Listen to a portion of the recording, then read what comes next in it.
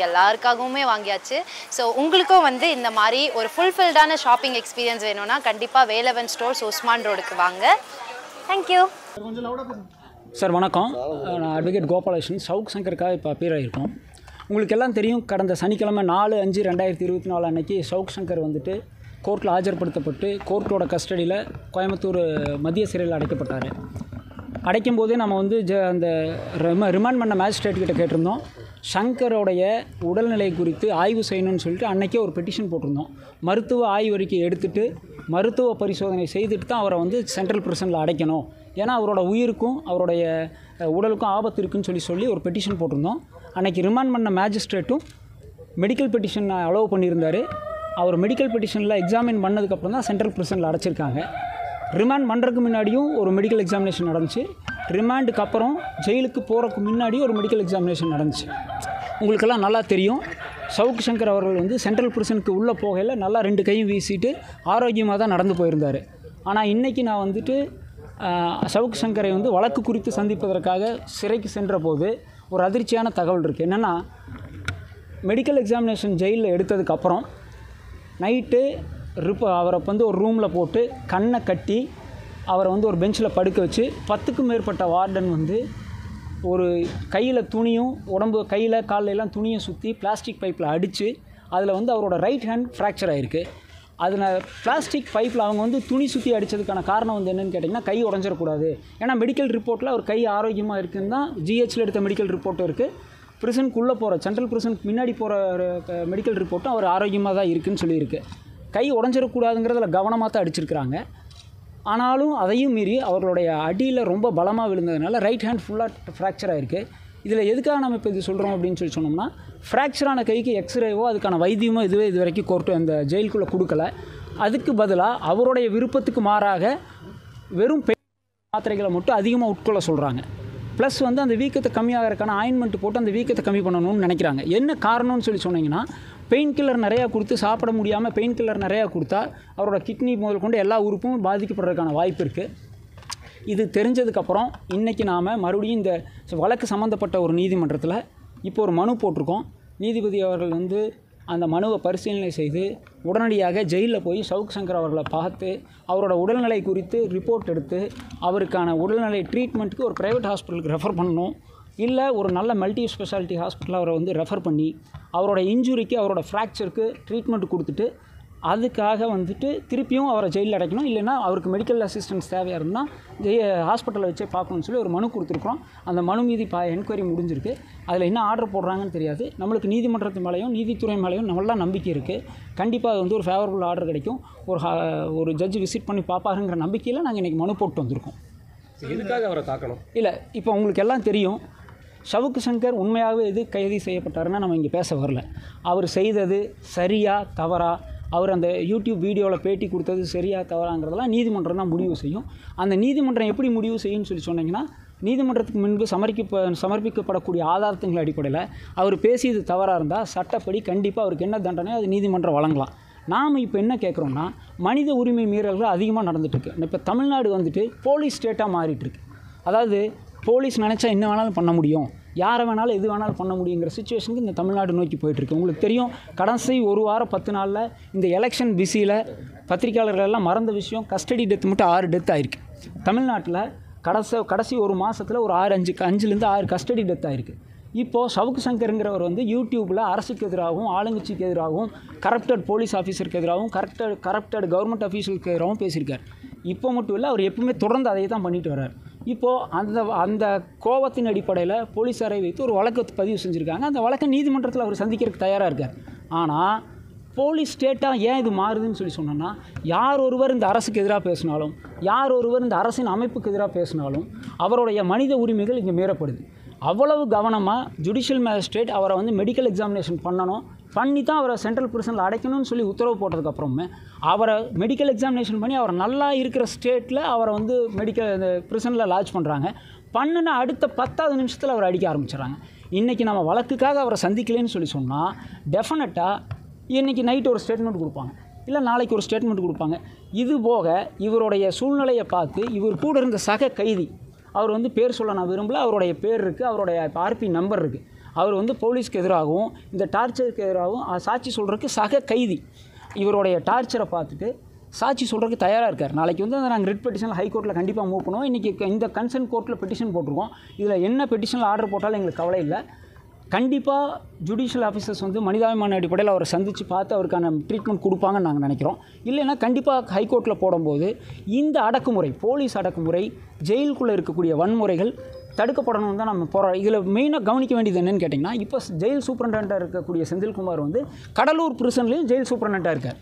கடலூர் பிரிசனில் சுவாமிநாதன் ச ஜஸ்டிஸ் சுவாமிநாதனுடைய கண்டெம் பெட்டிஷனில் சவுக் சங்கர் அவர்கள் சிறையில் இருந்தபோது கடலூரில் இவர் தான் ஜெயில் சூப்பரண்ட் அவருடைய ம மனித மனித உரிமை மீறலுக்காக ஹைகோர்ட்டில் சவுக் சங்கர் அவர்கள் செந்தில்குமார் இப்போ கோயம்புத்தூர் ஜெயில் சூப்பரண்டாக இருக்க செந்தில்குமார் மேலே ஒரு வழக்கு தாக்கல் செய்து அது வந்து விசாரணைக்கு பெண்டிங்கில் இருக்குது இப்போ நான் சவுக்கு சங்கர் என்ன சந்தேகப்படுறாருன்னா அதற்கு பழி வாங்கும் விதமாகவும் போலீஸாரை பேசியதற்கு பழி வாங்கும் விதமாகவும் வேணுமென்றே கோயம்புத்தூரில் வழக்கு பதிவு செய்து தமிழ்நாட்டில் எங்கே வேணாலும் இந்த வழக்கு பதிவு செஞ்சுருக்கலாம்.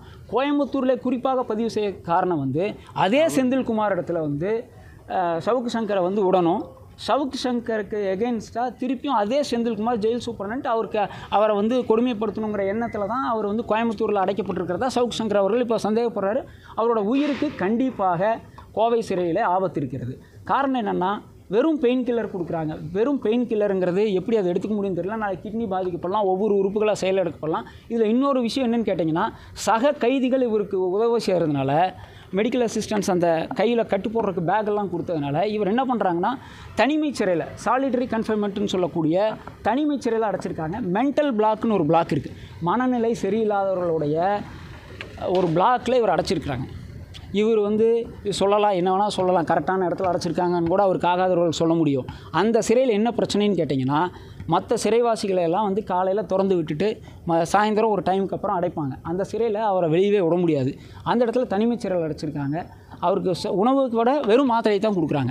அவர் என்ன ரிக்வஸ்ட் பண்ணுறாருன்னா கை வந்து ஃப்ராக்சர் ஆயிடுச்சுன்னா ராங் ஷேப்பில் ஆயிடுச்சுன்னு சொல்லி சொன்னோம்னா அவருடைய உடல்நிலை வந்து முற்றிலுமாக பாதிக்கப்படக்கூடிய ஒரு சூழல் இருக்குது இப்போ அவர் வந்து அவருடைய உயிருக்கு ஆபத்து இருக்கிறத அவர் கருதுறாரு. நம்ம இது வந்து இப்போ இது வந்து சாயந்தரம் அஞ்சு மணிக்கு நாங்கள் அவரை ஜெயிலில் வழக்காக சந்தித்து மேல் மேற்கொண்டு என்ன பண்ணலாம் இந்த வழக்கில் அப்படின்னு கேட்கறதுக்கு போகும்போது அதை தெரிஞ்சிருக்கு.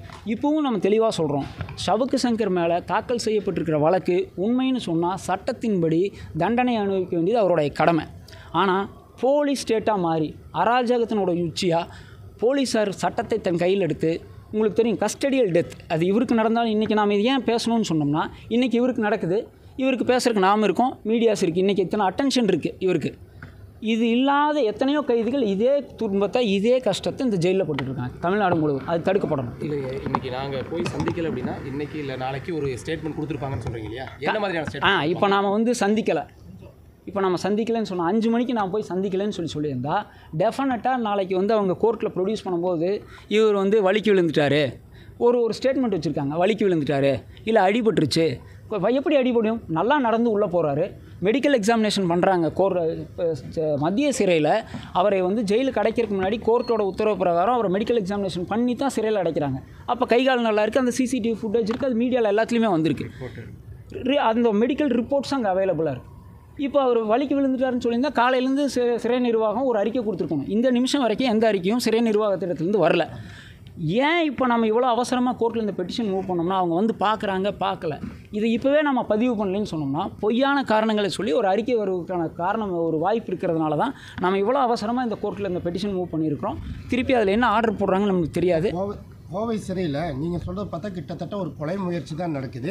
இது தொடர்பாக நீங்கள் மனித உரிமை தேசிய மனித உரிமை ஆணையத்திலையும் மனு கொடுக்கவோ பெட்டிஷன் போடவோ வாய்ப்புகள் இல்லை கண்டிப்பாக இது ஹைகோர்ட்டில் நாம் என்ன பண்ண போகிறோம்னா இந்த தாக்குதலுக்கு உட்படுத்தப்பட்ட ஜெயில் சூப்ரன் தலைமையில் ஜெயில் சூப்பரண்ட் மற்றும் அவரை தாக்கிய பத்து வார்டன்கள் அவங்க மேலெல்லாம் நடவடிக்கை எடுக்க சொல்லியும் அவர்கள் மீது வழக்கு பதிவு செய்ய சொல்லியும் கண்டிப்பாக நாம் வந்து ஹைகோர்ட்டில் மூவ் பண்ண போகிறோம் ரிட்டு கண்டி ஆல்ரெடி வந்து இவர் மேலே குண்டாஸ் போடுறதுக்கான வாய்ப்பு இருக்குன்னு சொல்லியிருந்தாங்க. அந்த குண்டாஸ் போடக்கூடாது பொய் வழக்கின் அடிப்படையில் குண்டாஸ் போடக்கூடாதுன்னு சொல்லி அதுக்கு ஒரு ரிட் பெட்டிஷன் மூவ் பண்ணியிருக்கோம்.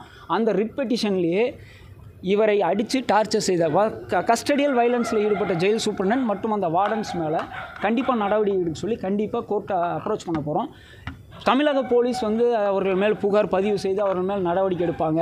மனித உரிமை வந்து ஆணையம் வந்து அவருக்கு பார்த்து அவருக்கு வந்து உதவி செய்வாங்கிற நம்பிக்கை இல்லை. கண்டிப்பாக அது சிபிஐ என்கொயரியோ இல்லை சென்ட்ரல் இன்வெஸ்டிகேஷன் என்கொயரியோ கண்டிப்பாக ஹைகோர்ட்டில் ரிட்டில் கேட்போம். கண்டிப்பாக அதாவது கடலூர் சிறையில் வந்து கண்காணிப்பாளர் செந்தில்குமாருக்கும் சவுக்கு சங்கருக்கும் இடையிலான அந்த ஒரு பிரச்சனையை மீண்டும் பண்ணுறதுக்காக தான் திட்டமிட்டு பண்ணியிருக்காங்கன்றது இல்லை அவர் சவுக் சங்கர் அப்படி தான் சொல்கிறாரு சார் நான் வந்து கடலூர் சிறையில் இருந்தப்பவே புக்கு படிக்கக்கூடாதுன்னு சொன்னாங்க. என்னை என்ன பண்ணிட முடியும்னு கேட்டு என்னை அடித்தார் டார்ச்சர் பண்ணார். நான் அந்த டார்ச்சருக்கு எகென்ஸ்டாக ப்ரிசனர்ஸ்க்கு எகென்ஸ்டான டார்ச்சர் இந்த ஜெயில் சூப்பரனால் சிறைவாசிகள் எவ்வளோ பாதிக்கப்பட்டிருக்காங்க நான் மட்டும் இல்லை அவர் மேலே நடவடிக்கை எடுக்கணும்னு வந்து ஹைகோர்ட்டில் மனு போட்டிருக்காரு. அது வந்து பெண்டிங்கில் இருக்குது இப்போ அவர் சவுக் சங்கருடைய சந்தேகம் என்னன்னு சொன்னால் திருப்பியும் கோயம்புத்தூரில் இந்த வழக்கு பதிவு செய்யப்பட்டதுக்கான காரணம் அதே செந்தில்குமார் கிட்ட சவுக் சங்கர் ஒப்படைக்கணும். அவர் மீண்டும் அவரை டார்ச்சர் பண்ணணும்னு நினச்சி இது பண்ணியிருக்காங்கன்னு அவர் சவுக் சங்கர் பலமாக வந்து சந்தேகப்படுறார். அதுக்கு அது உண்மைங்கிற விதத்தில் தான் இந்த சம்பவம் நடந்திருக்கு. சனிக்கிழமை நைட் அடிச்சிருக்காங்க. இப்போ வரைக்கும் ஒரு எக்ஸ்ரே கூட எடுக்கல. ரெண்டு மெடிக்கல் ரிப்போர்ட் இருக்குது கவர்மெண்ட் ஹாஸ்பிட்டலில் ரிமாண்டுக்கு முன்னாடி ஒரு மெடிக்கல் ரிப்போர்ட் இருக்குது ரிமாண்டுக்கு அப்புறம் ஒரு மெடிக்கல் எக்ஸாமினேஷன் நடந்திருக்கு. அதில் ரெண்டுலேயுமே தெளிவாக தான் இருக்குது இல்லை நடமாடக்கூடிய- இப்போ நடமாடக்கூடிய ஸ்டேஜ்னு சொல்லி சொன்னோம்னா ரொம்ப சிரமப்பட்டு தான் நடக்கிறார். கை கால் எல்லாத்துலேயும் அடிபட்டிருக்கு. சிரமப்பட்டு தான் நடக்கிறார். இது காயமானது வெளியே தெரியக்கூடாதுங்கிறதுக்காக துணியை சுற்றி அடிக்கிறாங்களோ? இல்லை தாராபுரம் நான் இன்ஜுரியில் வந்துட்டு அது சவுக்கு சங்கரே கோர்ட்டில் வந்து அந்த ஆக்சிடெண்ட்டில் எனக்கு வந்து பெரிய சந்தேகம் இல்லை. மேஜிஸ்ட்ரேட் முன்னாடியே உதட்டில் மட்டும்தான் ஒரு காயம். ஏன்னா பன்னெண்டு பத்து போலீஸ்காரங்க இருந்தாங்க. அந்த பிரேக் அடிக்கும்போது முன்னாடி பட்டதில் உதட்டில் காயம் இருந்தது. ரிப்பில் வலி இருந்துச்சு. அந்த வலிக்கும் எக்ஸாமினேஷன் பண்ண சொல்லி தான் நம்ம கேட்டிருந்தோம். இப்போ வந்து என்னென்னா கை வந்து கம்ப்ளீட்டாக ஃப்ராக்சர் ஆகிருக்கு பைப்பில் வெறும் பிளாஸ்டிக் பைப்பில் அடித்ததுனால அது சுடுதண்ணி ஊற்றுற மாதிரி பெரிய பெரிய கோப்பலமாக நிறைய கையில் வந்து சூட்டுனால ஒரு ஃப்ராக்சர் இருக்குங்க ரைட் ஹேண்ட்லேயும் உள்ளங்கையிலையும் இருக்குது ரெண்டு ரெண்டு fracture. இருக்குது உனி எக்ஸ்ரே பண்ணி பார்த்தா ஸ்கேன் பண்ணி பார்த்தா தான் எங்கெங்கே ஃப்ராக்சர் இருக்குன்னு தெரியும். இங்கேருந்து சிறைக்கு கொண்டு போகும்போது யூடியூப் சம்மந்தமாக கோஷம் போடாங்க பொய்யான கஞ்சா வழக்க போட்டிருக்காங்கன்னு சொல்லி. இல்லை நான் என்ன சொல்கிறேன்னா எந்த வழக்கு பதிவு செய்வதற்கும் போலீஸ்க்கு அதிகாரம் இருக்குது அது உண்மையாக பொய்யாங்கிறத நீதிமன்றம் முடிவு செய்யும். அவர் அதை பொய் வழக்குன்னு சொல்கிறார் சாட்சியங்கள் அடிப்படையில் நீதிமன்றம் கண்டிப்பாக அது உண்மையாக பொய்யான முடிவு செய்யும். நாம் இப்போ பேசிகிட்டு இருக்கிறது போலீஸ் வழக்கு பதிவு செய்ததுக்கப்புறம் அது பொய் வழக்கோ உண்மையான வழக்கோ அது நீதிமன்றம் தான் முடிவு செய்யணும். ஆனால் சிறைக்குள்ள மனித உரிமை மீறல் கஸ்டடியல் வயலன்ஸ் நடக்குது. சுப்ரீம் கோர்ட் நிறைய கேஸில் சொல்லியிருக்கு. இது ஜுடிஷியல் கஸ்டடியில் இருக்கார். அவர் வந்து இப்போ சவுக்கு சங்கர் வந்து நீதிமன்றத்தினுடைய பாதுகாப்பில் இருக்கும்போதே அவருக்கு பாதுகாப்பு இல்லை. ஜுடிஷியல் கஸ்டடிங்கிறது ஒரு நீதிமன்ற பாதுகாப்பில் இருக்கக்கூடிய ஒரு விஷயம். ஜுடிஷியல் கஸ்டடியில் இருக்கும்போதே இவருக்கு இந்த வயலன்ஸ் இருக்கும்போது நீங்கள் நினச்சி பாருங்கள் அப்புறம் நாளைக்கு போலீஸ் கஸ்டடி கேட்கலாம். போலீஸ் கஸ்டடிக்கு போகும்போது அவருக்கு என்ன வேணாலும் நடக்கலாம். என்னென்னா பேசுகிறது கேஸ் போடுறது வேறு. வயலன்ஸ் ஹியூமன் ரைட்ஸ் வயலன்ஸுங்கிறது யாருக்கு நடந்தாலும் தவறு. இப்போ நாளைக்கு வந்து இப்போ கஸ்டடி கேட்கும் பட்சத்தில் கஸ்டடி கொடுக்கக்கூடாதுன்னோ அதே இல்லை நேரத்தில் இல்லை கஸ்டடி கேட்குறது போலீஸ் விசாரிக்கிறதுக்கு முழுவதும் கோஆப்ரேட் பண்ணுறதுக்கு சவுக்கு சங்கர் தயாராக இருக்கார்.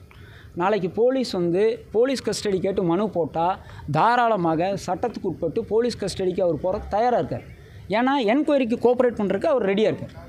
இப்போ இந்த நீதிமன்ற காவல் நீட்டிக்கப்படும் பட்சத்தில் சிறை மாற்றம் ஏதாவது வேணும்னு ஏதாவது கேட்குற இல்லைங்க இது சிறை மாற்றங்கிறது மட்டும் இருக்கக்கூடாது. இப்போ என்னென்னா சிறை மாற்றம் எங்கே போனாலும் தமிழக சிறை தானே? எங்கே போனாலும் தமிழக அரசினுடைய ஜெயில் சூப்பரன் தான். எங்கே போனாலும் தமிழக போலீஸ் தான். குறிப்பாக நீங்கள் செந்தில்குமார் அவர் மேலே குற்றம் சாட்டுறதுனால. இல்லை இல்லை செந்தில் இன்னைக்கு இங்கே ஒரு செந்தில்குமார் நாளைக்கு வேற ஒரு கோர்ட்டில் வேற ஒரு ஜெயிலில் வேற ஒரு செந்தில்குமார் இருப்பார். அவ்வளோதானே ஸோ அரசு வந்து போலீஸ் ஸ்டேட்டாக மாறிட்டு வருதுன்னு சொல்லி சொல்கிறோம் இது வந்து போலீஸ் ஸ்டேட்டாக கன்வெர்ட் ஆகிட்டு இருக்கு தமிழ்நாடு அப்படிங்கிறத சொல்ல வரும் எங்கே சிறைக்கு போனாலும் அவங்க தமிழக அரசினுடைய அதிகாரிகளாக தான் செயல்பட போகிறாங்க அவர்கள் யாருடைய உத்தரவுக்கு அது செயல்படுறாங்கங்கிறது நம்மளுக்கு தெரியாது. ஆனால் அவர்கள் தமிழக அரசினுடைய உயர் அதிகாரிகள் தான். Okay okay